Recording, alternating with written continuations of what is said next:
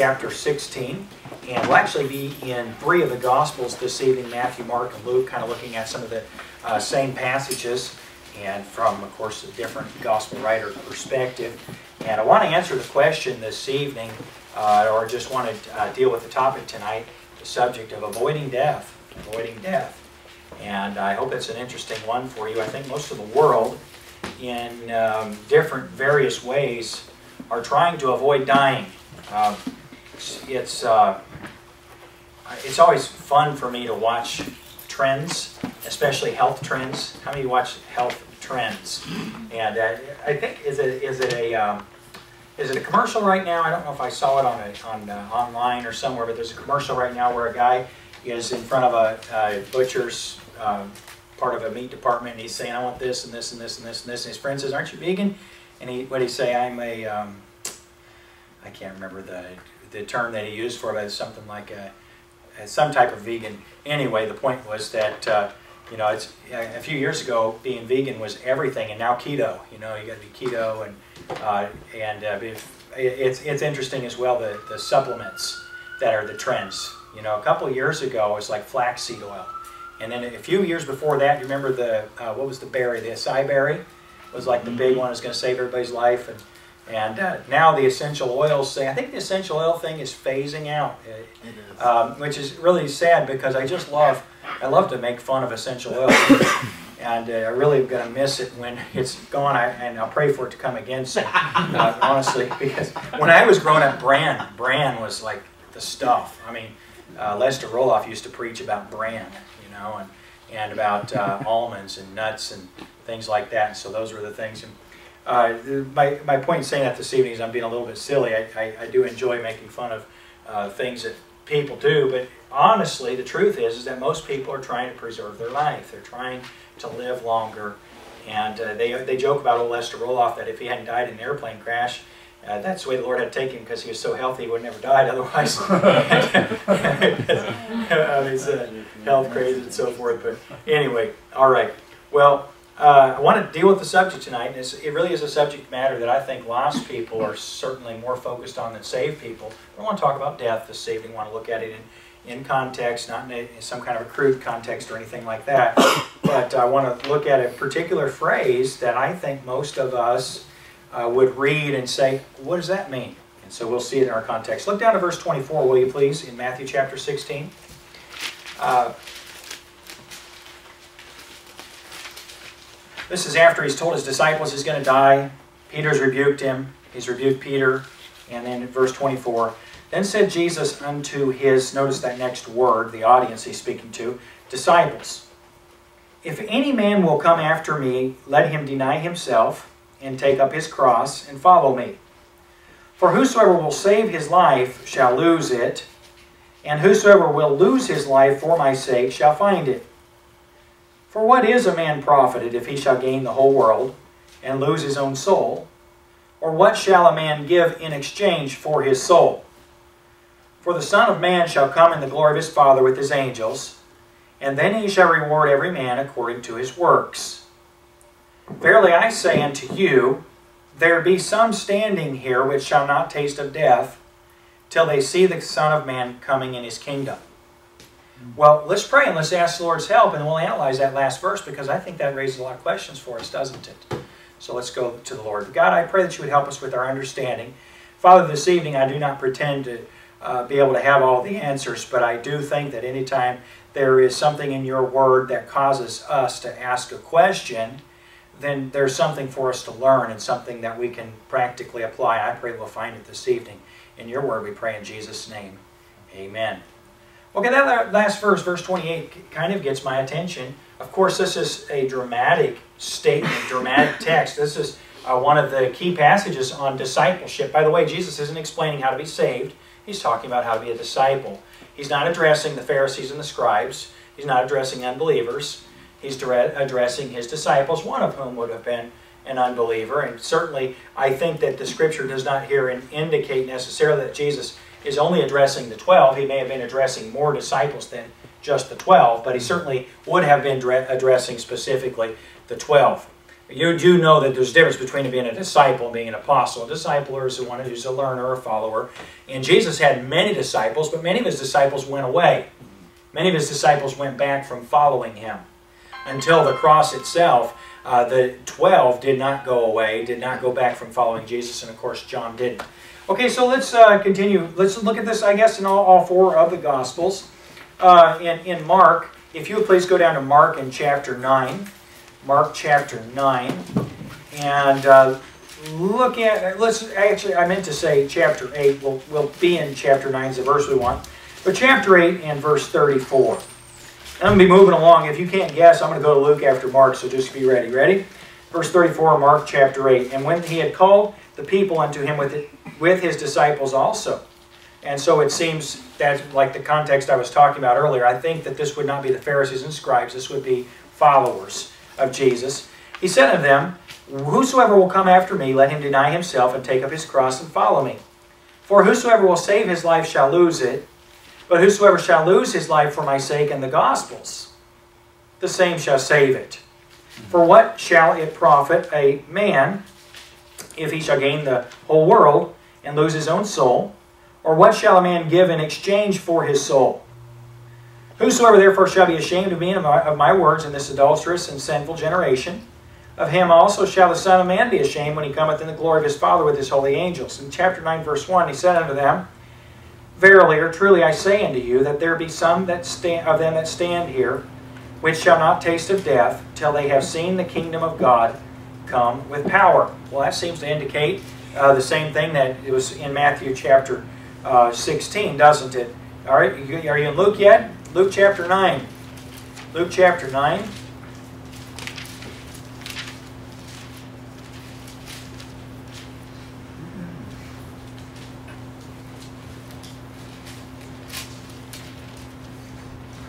And then verse 23. Again, same context. Jesus has told his disciples that he's going to die. Going to go to the cross, be raised again the third day, according to Luke. Verse 23, And he said, unto, said to them all, If any man will come after me, let him deny himself and take up his cross daily and follow me. For whosoever will save his life shall lose it, but whosoever shall, will lose his life for my sake, the same shall save it. For what is a man advantaged if he gain the whole world and lose himself or be cast away? That's a good way of uh, helping us to understand particularly what uh, what Jesus was saying. It, the, the, the, the, additional phrasing, I think, is, is uh, real help, Luke's, Luke's perspective on it here.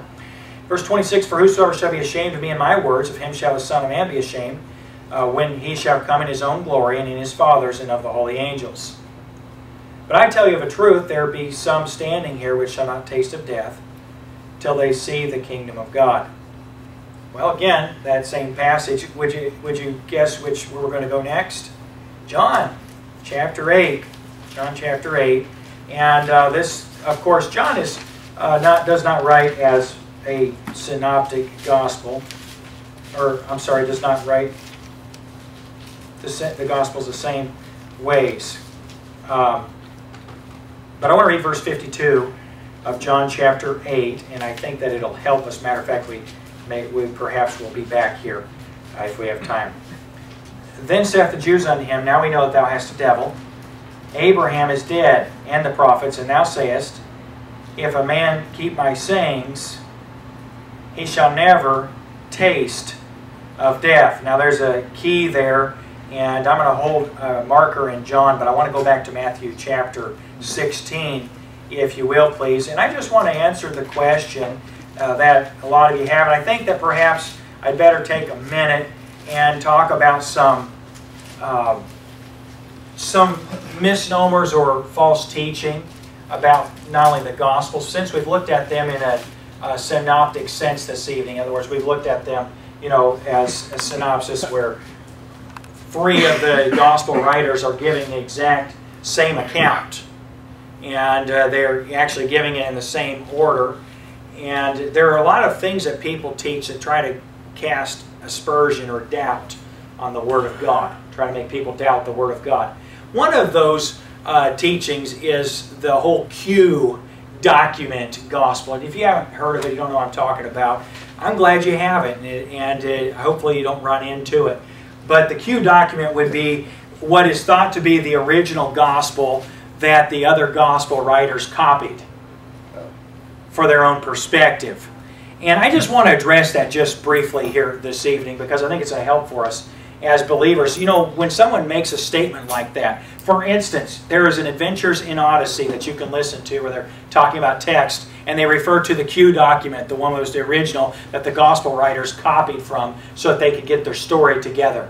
And with that, uh, what the underlying teaching behind that is, is to say, you know what, these guys got their story together on the gospel. In other words, they had to consult each other and copy each other to make sure they told the same story. And that's because, you know, they didn't have their own account. And what they're trying to say is that the Bible isn't inspired and preserved. It's a man-written, man-made book, and it has error. And uh, let me just, just mention that. First of all, let me just say a couple of things. The, the gospel writers knew one another. The gospel writers knew one another, and if you think that they didn't get back together and uh, say, you know, Jesus told us that we're supposed to teach people to observe all things whatsoever He's commanded us. What did He command us? Think maybe they had some conversations about some conversations they'd had with Jesus together? As believers, oh, I think so. I can imagine John saying, You remember when Jesus told us and we didn't believe that he was going to die? Or not John saying that, but uh, you know, uh, Luke saying that or Peter saying that. Peter saying, Yeah, boy, I got that one. Uh-huh. You know, I, I heard it about, you know, when I said, far be it from thee, Lord, and he called, he said, get thee behind me, Satan. You know, and uh, man, I tell you what, whew, I got it for that one. I sure remember that really well. And I can imagine that the, that the disciples, after the conversation with Jesus, almost every time Jesus taught his disciples, particularly when he used a parable uh, to illustrate truth, generally speaking, when Jesus taught his disciples, they conversed about it afterward. And so small wonder that their accounts were orderly, and small wonder that their accounts were the same. You know, I found out that I'm a liar when I give eyewitness accounts for things. You ever see somebody commit a crime and try to describe the person afterward? I'm a liar. One time I described a, a guy's coat as red and it was orange.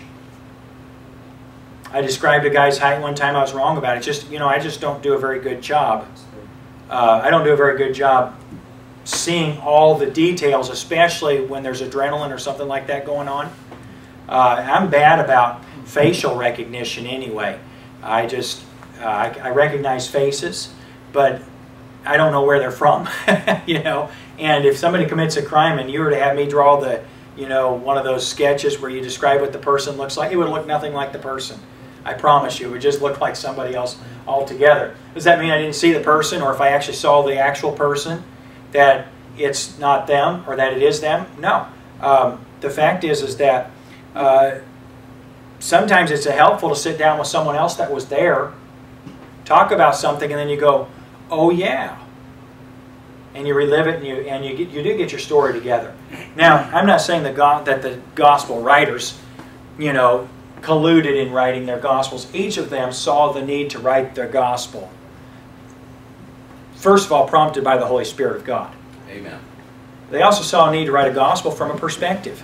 In other words, each of them had a perspective in penning the Gospel. And we certainly know as we're in John on Sundays now, we know that John's Gospel was very, very different from the Synoptic Gospels, from the other three. He didn't tell the same stories, didn't share the same miracles. The miracles that John showed were the most extreme of the miracles. And the reason for that was because he was saying, These things have been written to you that ye might believe that Jesus is the Christ, the Son of God, and that believing you might have life through his name. His purpose was so that people could believe that Jesus is the Christ.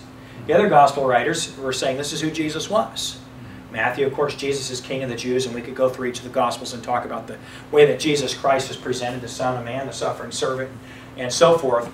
But the point is, this evening, I want you to know that the Holy Spirit of God used these used these individuals, and it's very unique when you get to a place where each of the discussions or conversations follow the same flow, like they do here. In other words, a lot of times their their order of events or the sharing of the events is not in the same order in the Gospels.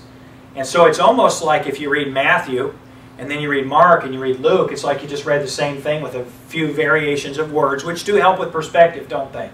Give us just a little bit of a perspective about it. Um, discipleship. It's always important to point out for people that try to make discipleship the gospel instead of believing in Jesus, the gospel. Because we're not saved by following Jesus. We're saved by believing in Jesus. Jesus is not talking about how to be born. You say, well, Pastor, they're talking about who should lose his life and save his life. Exactly. That's what we're talking about this evening. See, what a lot of people are doing is trying to keep this life. Isn't so? In other words, you know, I find that as believers, oftentimes we're trying to hold on to this life, aren't we? Sometimes I sit down and I just ponder the nonsense of how much I don't want to die. And just think how foolish it is that I don't want to die because nothing I leave is going to be anything like where I go. A lot of times I just think, man, you know, boy, I, I, I'll be honest with you, I love life. I love living. I've got a good one. I just, I, I tell people all the time, you know, I just think that God just gave me the best life that anyone's ever had. I just, God's been really good to me. My life is wonderful, and I enjoy living it. But friend, it pales in comparison with the things that the eye hasn't seen, the ear hasn't heard, and the heart hasn't imagined. God has greater things for those. And so, oftentimes we as believers are faced with this struggle of trying to hold on to life. I don't know how many people that are dear ones to me that have gone on. They've gone to heaven to be with the Lord. And uh, oftentimes I think, I wish they could be here for something. often thinks, I, I, wish I wish they could see this. I wish, and, I, and then as I reflect and I ponder, I think, but they don't wish that. The only reason I wish they could be here is because I'm not wishing I could be there. Because if I were there, I'd think I never want to go back. You know, I mean, honest, well, I better be careful. I'm not going to illustrate that one. But, you know, some places that I've been, I've thought are pretty good until I go to a better place. And when I get to the better place, I never want to go back. Uh, I hope my family doesn't get offended by this one, but I never want to move back to Kansas. Kansas. yeah, Kansas. That's not funny. no, you know why I don't want to move back to Kansas? Because I like where I'm at. I like where I live. Now, I like to visit Kansas. I can do things there I can't do here. But uh, I don't want to live there anymore because I'd rather live in Florida. Florida. Yeah. I'd rather. So the reality of it is that if I ever get if I ever get to be with the Lord, I'll never want to be in a sin-cursed body on a sin-cursed earth. You, you understand what I'm saying? Okay, now in context though, when we talk about people loving this life, we're talking about people loving this life. Loving this life. The Bible says a person that loves this life is going to lose it. Is that true? Has anyone ever been the exception to that? No, everybody that's loved this life has lost it. And then whoever wants to save it uh, is is or whoever loses his life is going to find it, and what he's going to find is life. Now, then the illustration, or the the the, the thing that illustrates the value of eternal life. By the way, this is if you're sharing the gospel with someone, this is a good question to ask someone. What's your soul worth? What is the value of your soul? Because the Scripture tells us the world's the world has nothing in it that is worth the value of your soul. And yet every day individuals make the decision, don't they, to trade something for their soul. Now, I'm not talking about specifically selling their soul, like saying, you know, I, I, I, I'm giving my soul to some. You can't give your soul to anyone but God. God is the owner of your soul. Uh, there are a lot, there's a lot of nonsense misnomers about that. But the reality of it is that Many individuals sell their soul for something far less valuable than what it's worth. You know, I, in, a, in a small sense, when Esau traded his birthright, it's a good example of that. And really, literally, uh, that was exactly what Esau was trading. If you think about it, um, Esau, his father, Isaac, was wealthy, right? He was pretty wealthy, and Abram was pretty wealthy. But the truth of the matter is, is that they weren't ridiculously wealthy. In other words, they were great men, they were powerful men, but they weren't the most great or powerful men in the world. And so a lot of times when we think of Esau selling his birthright, we think of it in terms of inheritance. We think of it in terms of land or um, goats or uh, uh, servants and possessions, wealth, possessions. But no, Esau's birthright wasn't wealth or possessions. It was the promise of God had made to Abraham and Isaac. That was the birthright. And Esau profaned it. He despised it. Didn't care about the spiritual blessing. Do you think Jacob inherited all of his father's wealth? I'm Pretty sure Esau inherited it all. So what was it that Esau despised? Well, he he despised his soul. He despised eternal things, spiritual things. It's a good question to ask somebody, what is your eternal life worth? What's your soul worth? What's the value of it? And Jesus' answer here to the to the question was there's nothing in the world. The entire world isn't worth what your soul is worth. Your soul has more value than that. Okay, so now let's look at a couple of answers then for verse 28. Uh, we see rewards in verse 27, but verse 28, Jesus said, Verily. And anytime the word verily is used, I'm glad it is. Because, you know, uh, the translators of, of our Bibles, they knew the word truly. Did you know that? They knew what the word truly meant. But the, when the word verily is used, it's a special emphasis. In other words, it's a very true, a very truth. Uh, it's, an, it's an idea of, it, it, it has a force behind it that says this is so true it cannot be untrue.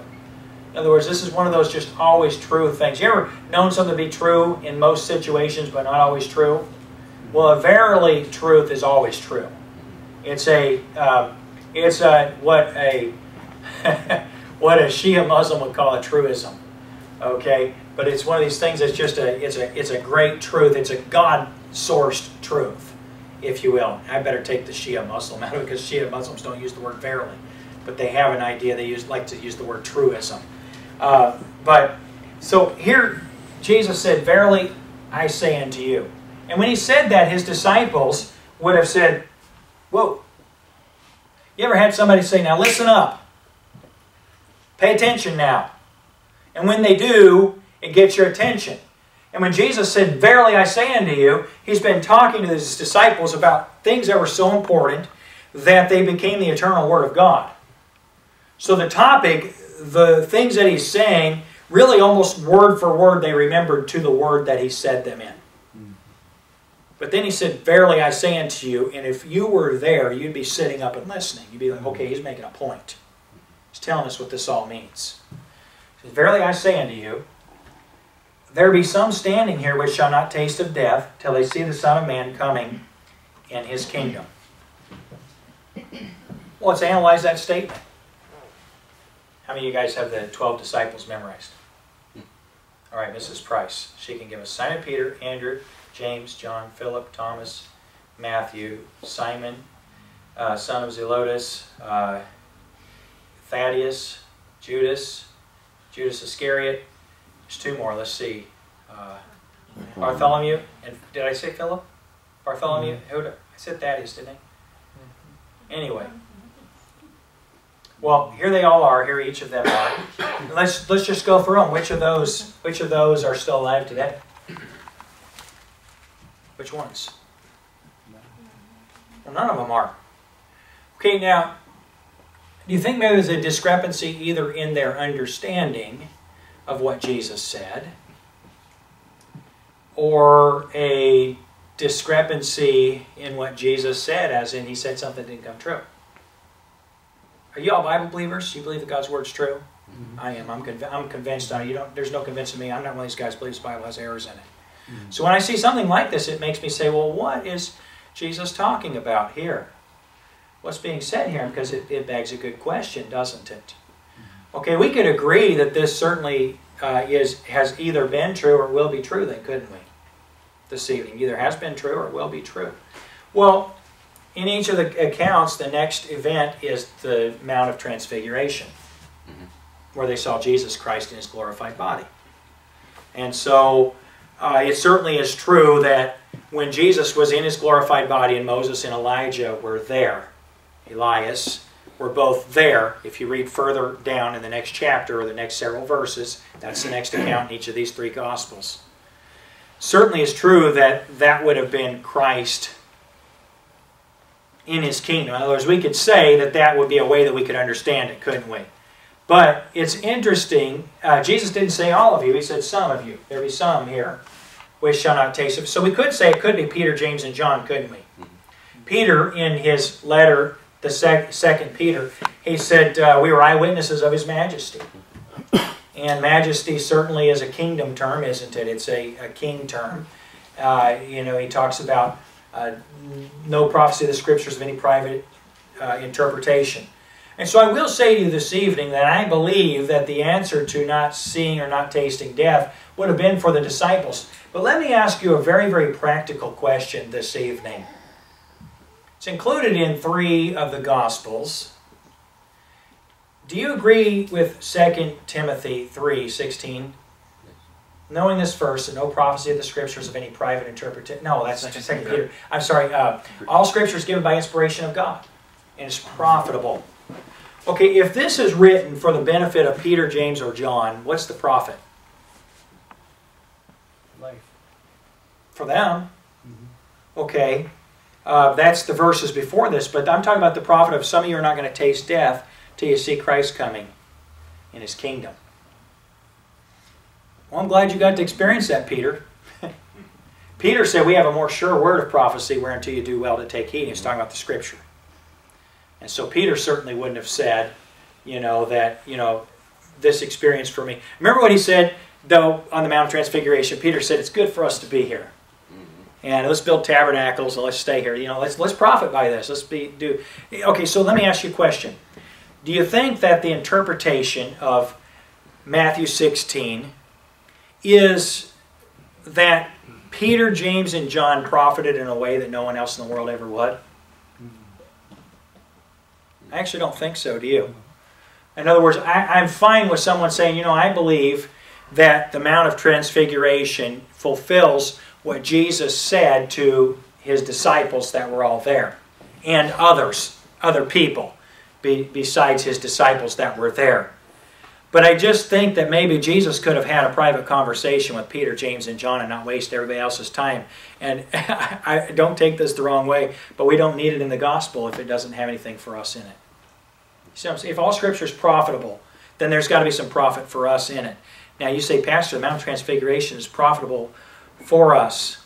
Yes, it is, because the Mount of Transfiguration illustrates to us God's, I mean, more than this, but it illustrates God's attitude toward inspiration and preservation. When Peter said, We were with him on the Holy Mount, and then he said, We have a more sure word of prophecy. He is saying that the Word of God is a better witness than someone who saw Christ in his glorified body. Mm-hmm. He said, I had this experience, and this is a and the Word of God is a better testimony than mine. Could it be written to us in the last generation before he comes, we will not taste death till we see him come in his glory? Well, it could be written to us, but then that would exclude everybody from the actual people Jesus said, some of you too, and everybody in between.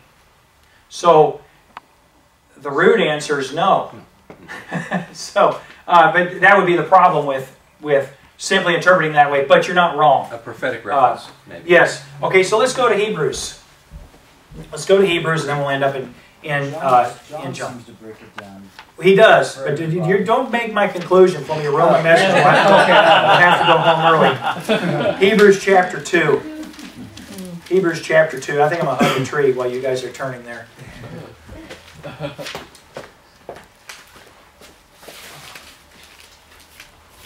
Can't seem to get it right. It's cold, and then people come in. It's hot, or somebody's temperature tampering around here. I don't know. Mike's not here. Yeah. All right, you there? Yeah. Tyrannical temperature tamperers. Hebrews chapter 2, and uh, let's go ahead and let's read beginning in verse 1. Therefore, we ought to give the more earnest heed to the things which we have heard, lest at any time we should let them slip.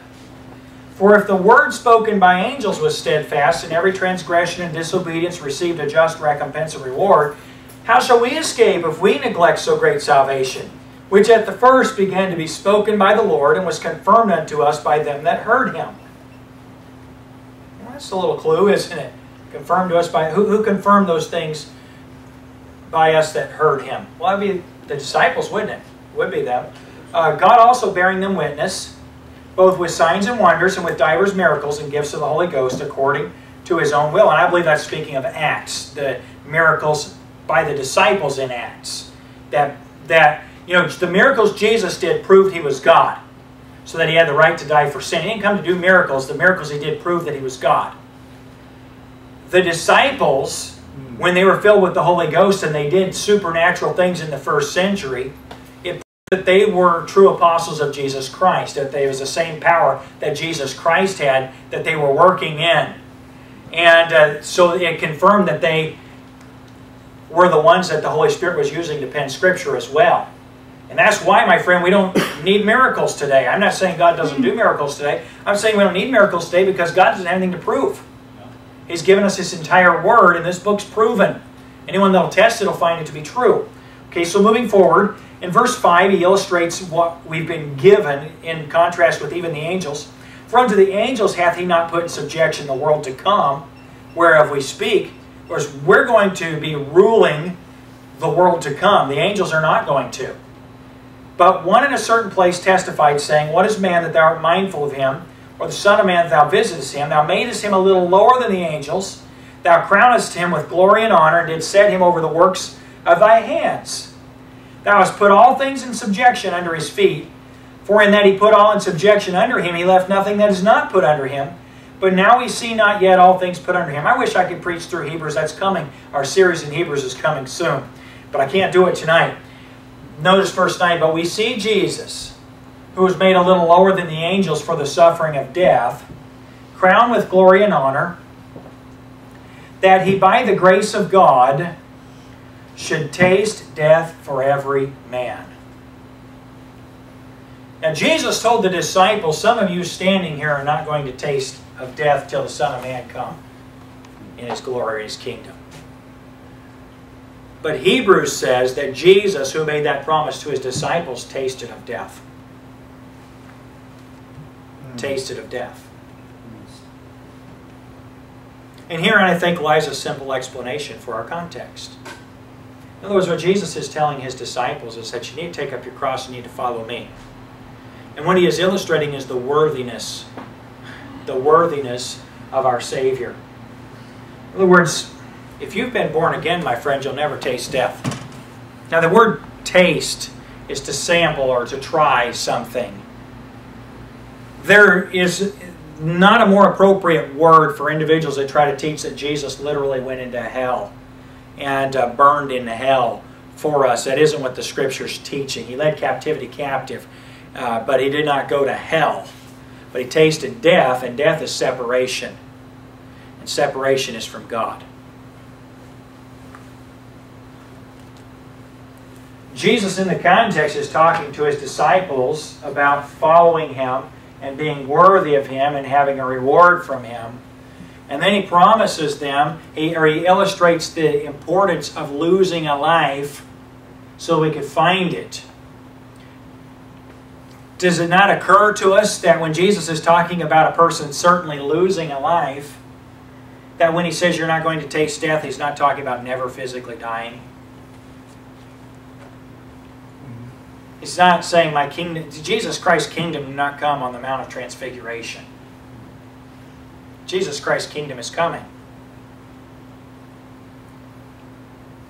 And no one who's followed Jesus will ever be separated from God or taste of death. Now, some of those disciples would have tasted death. Judas. Judas tasted death, didn't he? Some of the disciples forsook Jesus and fled, and who knows? I don't know who are believers and who are not believers. God knows. Know, the notion that because somebody faltered or fell, they're not saved. My friend, you want to play that game, you're playing a dangerous game because you will not qualify. You'll never be a good enough disciple if discipleship is the requirement for salvation. But if you want to be a good disciple, you could lose this life and find it. And the consolation in losing this life is that you'll never die. You'll never taste of death. Of course, Jesus concludes or he illustrates something to the disciples that I think ought to be really plain as the nose on our face. And that is that nothing you give up for Jesus, nothing you give up for Jesus is without a reward. And nothing that you give up for Jesus is not a great trade-in for the fact that we're never going to taste death. Jesus is talking here about his, about his cross. He's talking about persecution. He's speaking of, of uh, being tortured. He's speaking of uh, being mistreated for following him. And when he speaks of this to his disciples, the promise is you won't taste death. You won't taste death. What is that death? Well, that'd be the death that's separation from God. And while he is telling his disciple this, the irony of it is that he has just been speaking about his own death. Remember this? Let's go back to Matthew chapter 16, shall we? And we can look at it in each of the Gospels. Matthew chapter 16.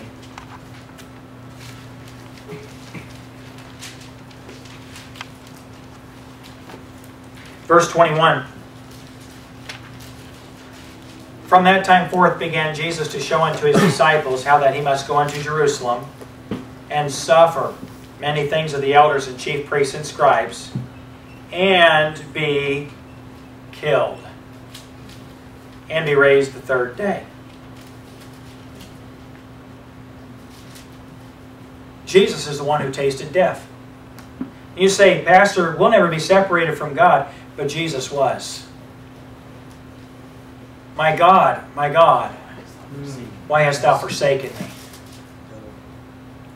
And in Jesus' statement that there will be some which will never taste death, there is the inherent understanding that He will, so that we do not have to. And my friend, that's the urgency of discipleship.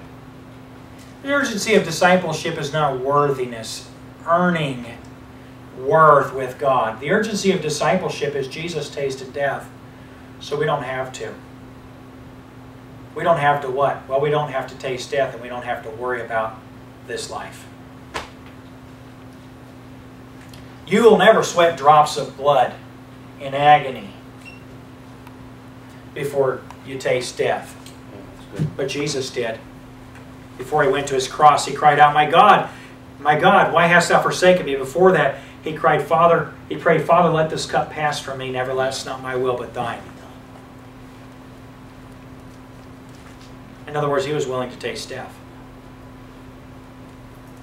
Friend, it is such a nutshell. It encapsulates it so well to understand that we love him because he first loved us. We love him because he first loved us. And so I would say to you this evening from the Scripture, and I believe on the authority of Scripture, both what we have looked at in Hebrews as well as going back and just looking in our context in Matthew chapter 16, that when Jesus is telling his disciples that they will not face death, he's giving them comfort in knowing that anything you give up so that you don't lose your soul. Anything you give up, and by the way, that's not how you get saved, it's not how you save your soul, but anything you give up in this life is nothing. Because you'll never die. You'll never give up life. You can't lose your life. You cannot lose your life. You cannot lose your life. You know, sometimes repeating something over and over again helps us to believe it or to think it or at least to, to, to realize the truth enough to act on it. You cannot lose your life. You cannot lose your... You ever just had to tell yourself, this isn't going to kill me before you do it? huh? Yeah, you take medicine, you eat kale. I think kale will probably kill you.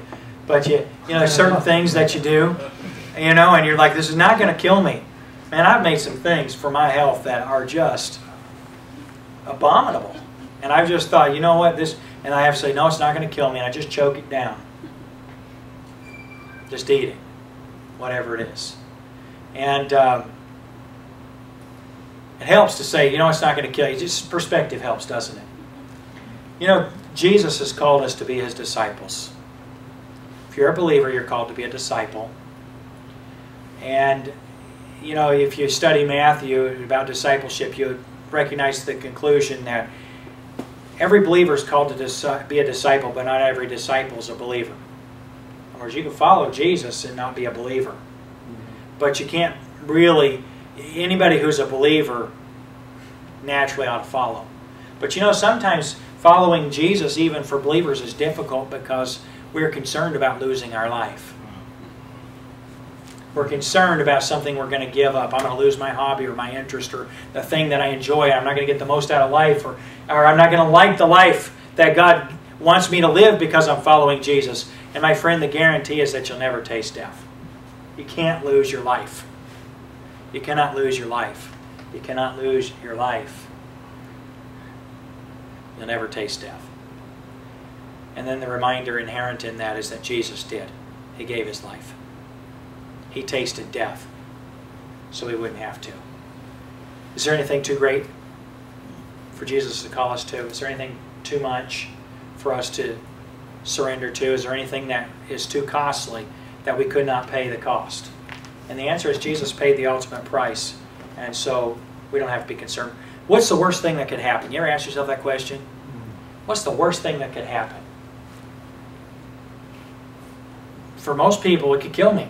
That's the worst thing that could happen. And what Jesus is saying, follow me can't kill you. Can't kill you. You can't be killed.